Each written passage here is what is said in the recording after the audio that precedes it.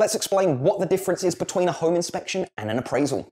If you're planning to buy a home, an inspection is an important step in the process. It assesses the condition of the home before you finalize the transaction. It's also a different step in the process from an appraisal, which is a professional evaluation of the market value of the home you'd like to buy. In most cases, an appraisal is ordered by the lender to confirm or verify the value of the home prior to lending a buyer money for the purchase. Here's the key difference between an inspection and an appraisal. Bankrate says, quote, in short, while an appraisal helps you understand the home's value, inspections help you understand a home's condition.